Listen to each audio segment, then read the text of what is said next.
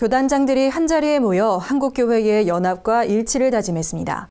특별히 지난달 새롭게 취임한 각 교단 신임 총회장들은 동성애 이슬람 반대와 연합기관 통합 추진 등에 적극 협조하겠다는 뜻을 전했습니다.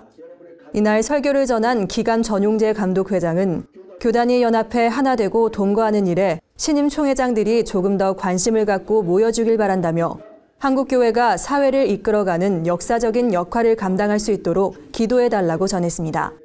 전 감독 회장은 부활절 연합예배 개최와 찬송가 공의 정상화, 한국교회 역사문화관 건립, 한기총 한교연 통합 추진 등 교단장 회의의 성과를 설명하고 이 일들이 계속해서 잘 진행될 수 있도록 신임 교단장들의 협력을 당부했습니다. 신임 교단장들은 이날 동성애와 이슬람 등 반기독교적 문화의 확산을 막기 위해 한국교회가 한 목소리를 내야 한다는데 뜻을 같이 하고 올해 안에 연합기관 통합이 이루어질 수 있도록 힘을 모으기로 했습니다.